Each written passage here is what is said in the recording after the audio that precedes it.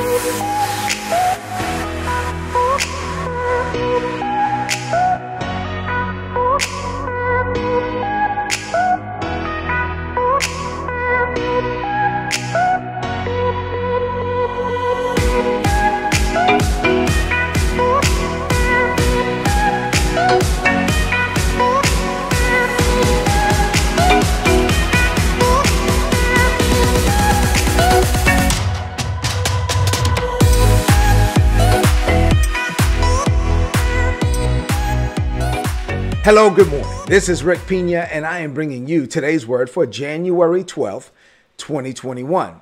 It's a brand new year, so I've been teaching about new levels. And I, I, have told you that I believe heaven is saying that it is a season of new levels for us. And because there are new levels, we have to now discern what does that mean for, for me? Like, what does that mean for you? And at the beginning of the year, this is uh, an opportunity to do some introspection, to spend some time inspecting yourself, not worrying about other people, inspecting yourself. Many churches are doing a fast right now. My church is in the middle of a fast. And while we're fasting, we are praying.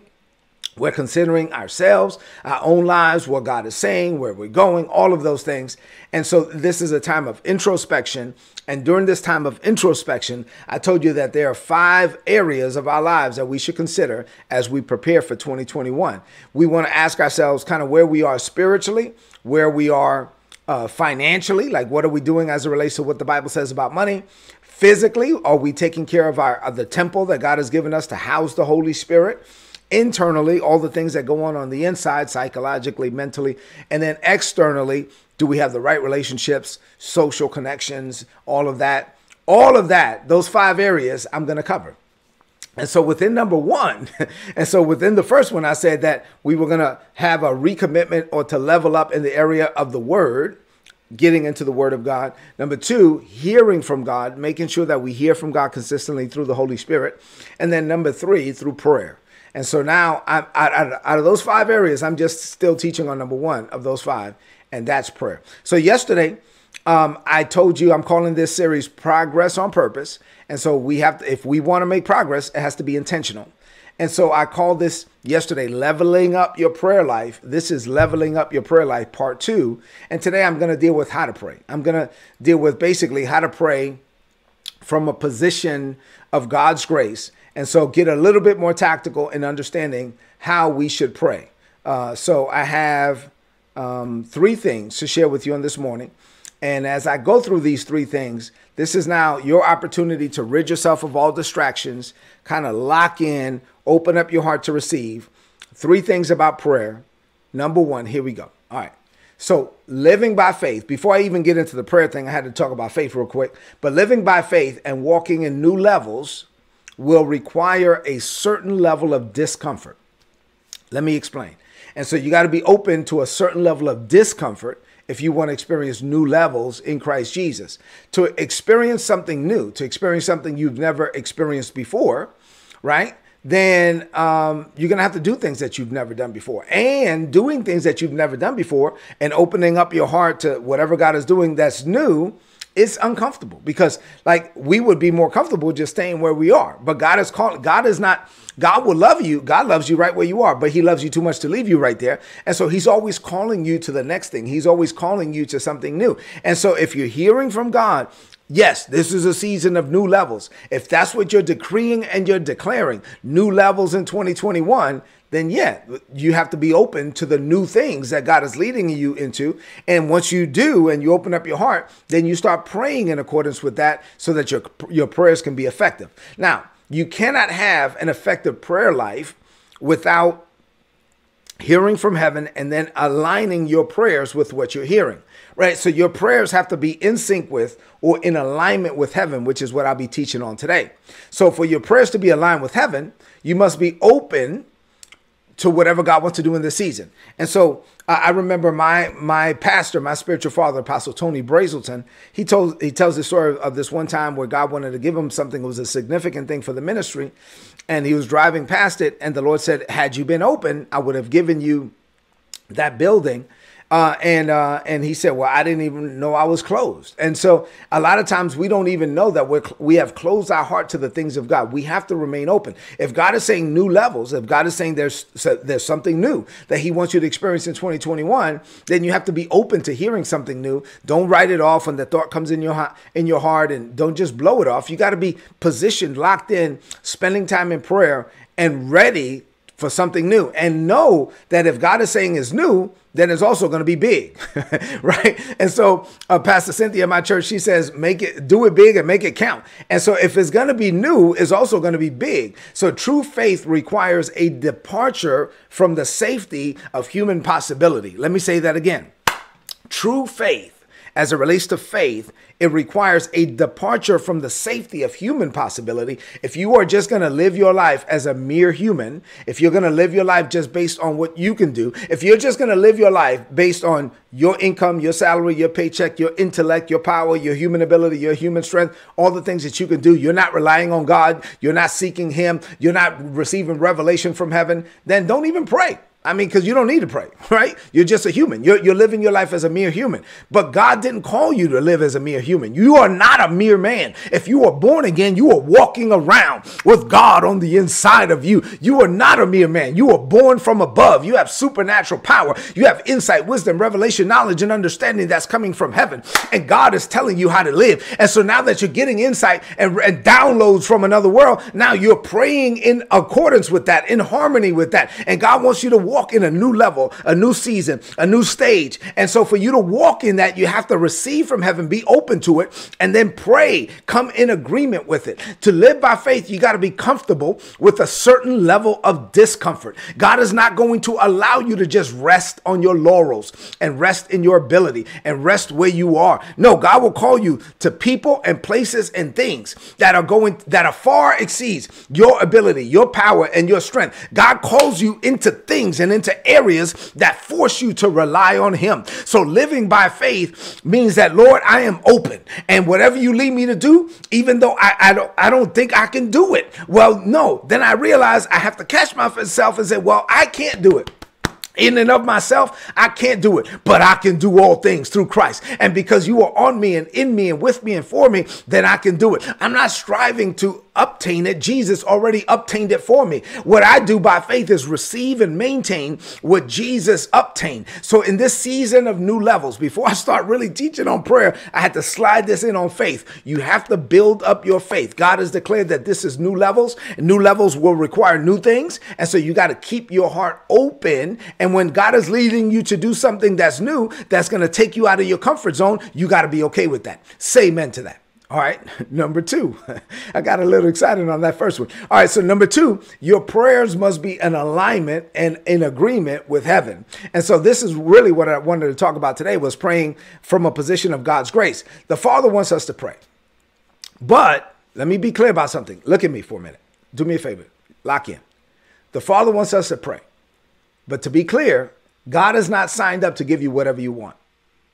God, God is not a genie in a bottle, right? He is not signed up to give you whatever you desire, whatever your selfish desires are, whatever is birthed in your heart. No, God is signed up to give you everything that was birthed in his heart for you from the foundations of the world. So God's grace is a key aspect of what I'm talking about here. God has already given you all things that pertain unto life and godliness. God, God will freely give you all things richly to enjoy that align up with his will. So while let me use the, the prayer of agreement as an example of this. So Jesus was teaching his disciples about the prayer of agreement.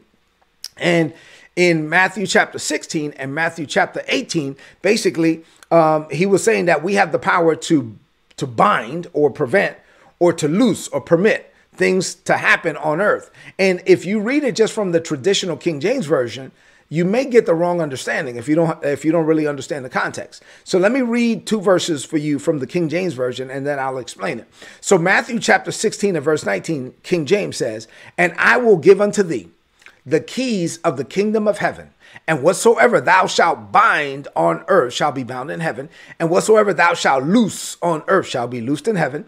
Matthew 18 and 18. Whatsoever ye shall bind on earth shall be bound in heaven, and whatsoever ye shall loose on earth shall be loosed in heaven. Now, if you only read those verses without any context, um, and you don't really understand what Jesus is saying, then it sounds like it sounds like heaven will do whatever whatever you say. Right? Whatever you bind, heaven will bind. Whatever you loose, heaven will loose. That's kind of what it sounds like, but that's not what Jesus was saying at all. Let me explain. In Matthew 18 and 18, let me give it to you from the Amplified Bible, and then I'll, I'll kind of pull the string on it. So the Amplified says, Truly I tell you, whatever you forbid and declare to be improper or unlawful on earth must be what is already forbidden in heaven. And whatever you permit and declare to be proper and lawful on earth must be whatever is already permitted in heaven. See, this translation is giving us a little bit more light. Jesus was not putting the emphasis on heaven to back you up. No. Jesus was putting the emphasis on you to find out what heaven has already provided. and so, no, so it wasn't like, hey, heaven is here to do whatever you want. Go, Johnny, go, Sally, go, Susan, go, Keisha, open up your mouth. Whatever you say, we will give it to you. No, that's not I don't know what Bible you're reading. That's not the Bible at all, right? No, it's saying no. There are things that are already stored up for for Sarah and Susie and Keisha and John, they're things that are already stored up for you. All things that pertain unto life and godliness already yours. God already made plans. And so what heaven is saying is, I need you to find out what I'm giving you. I need you to find out what's already yours. And when you pray in accordance with what God already provided, now all of heaven is backing you up. Now you're praying, you can bind what's already bound. You can loose what's already loose. And so it's not like you're telling God what to do. That would be the tail wagging the dog dog. You don't get to command God. No, you're coming in agreement with God, in alignment with God. You got it? Say amen to that. All right. Number three. Last thing for this, the third point and last point for today. Uh, and then I'm gonna keep teaching on this in, uh, tomorrow. But praying from a position of God's grace. So this is really what I wanted to get to. So when you pray, you must pray from a position of God's grace. So praying is not about you telling God what to do. Or watch this, and I shiver when people say this and I understand, you know, you could take the King James sometimes and and and maybe misconstrue it. You don't get to command God. and so when people say, I command God, eh, I don't know. I mean, God is not your servant. To be clear, look at me. Let me be clear about something. God is not your servant. You are his, right? I mean, it's the other way around.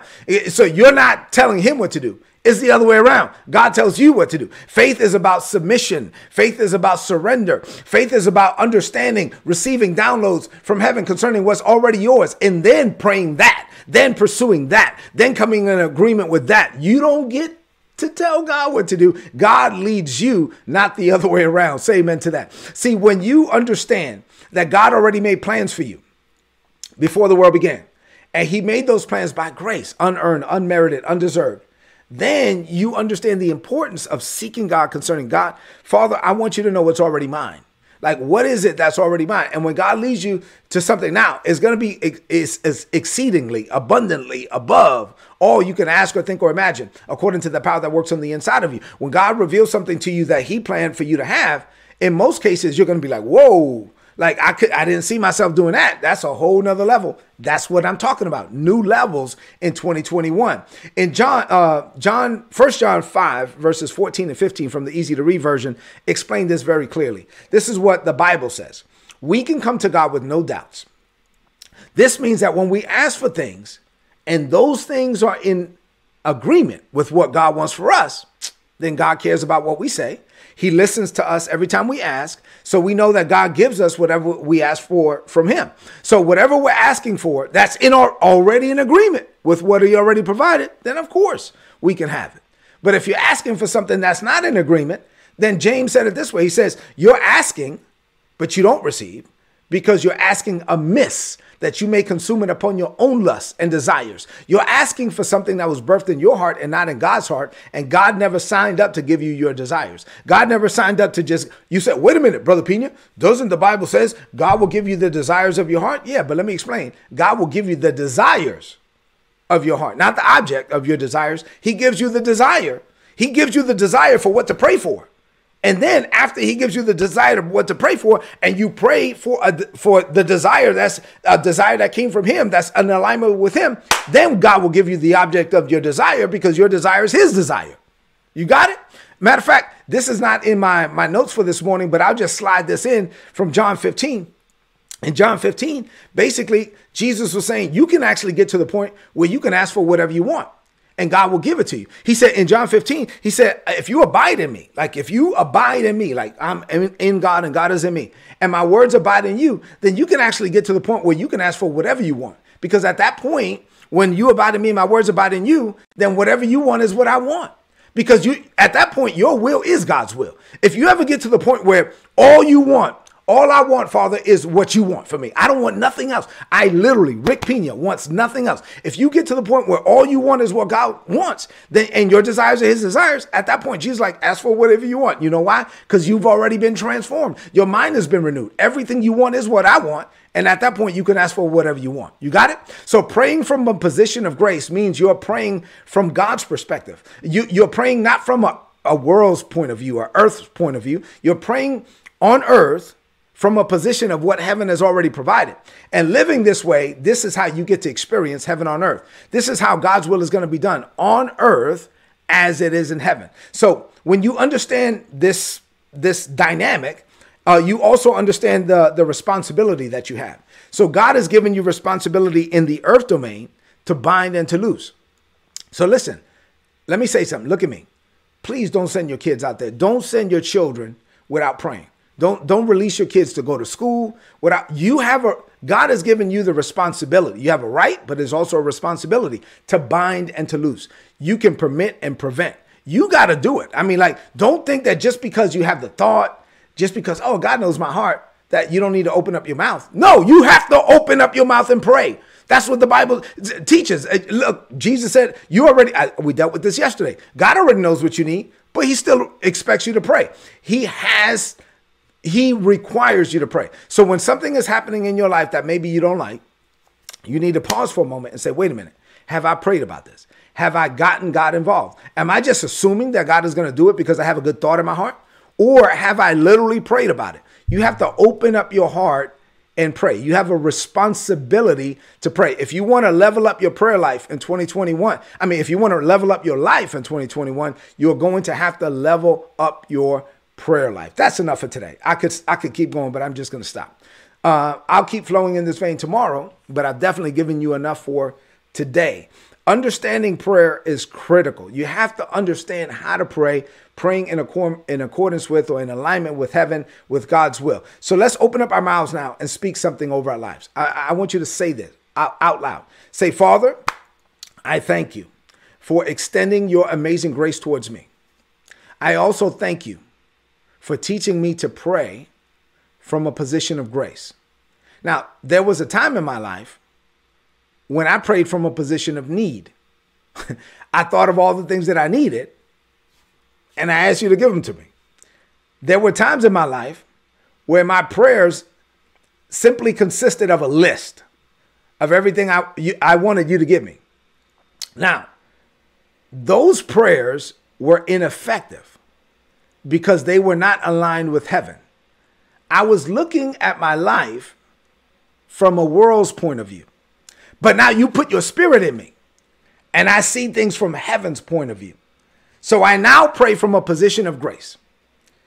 I pray from the position of what's already provided. And as I do, I come in agreement with heaven and I bring the reality of heaven into this world in my life, I experience heaven on earth. In this season of new levels, I level up my commitment to prayer. And I boldly declare that greater is coming for me. I declare this by faith. In Jesus' name, amen. This is today's word. Please apply it and prosper. If you're not getting these messages, go to today'sword.org. Don't you want my notes? Like these are good notes, man. I'm giving you this stuff for free. So go to today'sword.org, click on the subscribe button, and you're to get an email with all my notes, and you'll get my notes for free, right? So sign up and get the messages. Do me a favor. If these messages have been a blessing to you, or this message, leave me some comments in the chat. I go back. There's a lot of stuff going on in the chat. I'm gonna go back and and and read them, and I'll I'll, I'll respond. So leave me some comments in the chat, uh, and then also share this message right now on your social media, on your timeline, and with your friends. Look, tomorrow I'm going to keep teaching on this. and remember, this is one of five. I'm still on the first point of five points because I want to teach in January how to lay the foundation for us to level up in 2021. I love you and God loves you more. I'll see you tomorrow morning. God bless you.